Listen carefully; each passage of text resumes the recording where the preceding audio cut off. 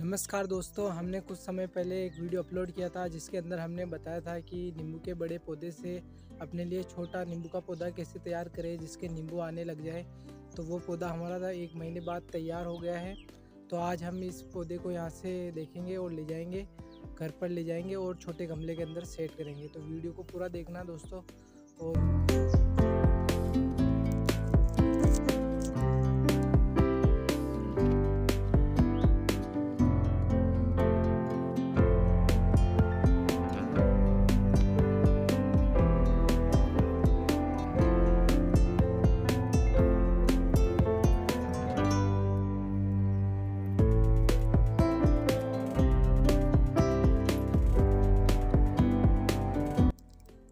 देखिए दोस्तों, ये झड़ी आ गई है इसके अंदर।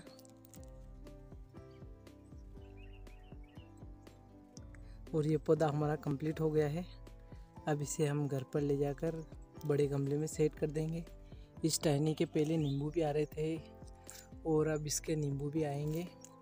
छोटे पौधे के भी अब नींबू आएँगे इसके। ये देखिए।